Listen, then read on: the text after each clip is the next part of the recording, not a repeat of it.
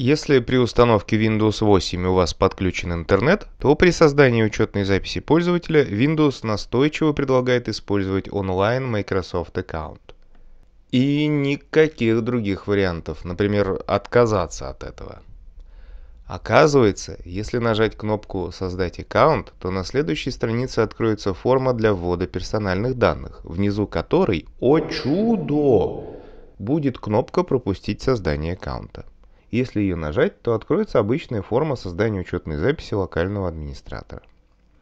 К слову, если отключить интернет во время установки Windows, то система сразу предлагает завести локальную учетку.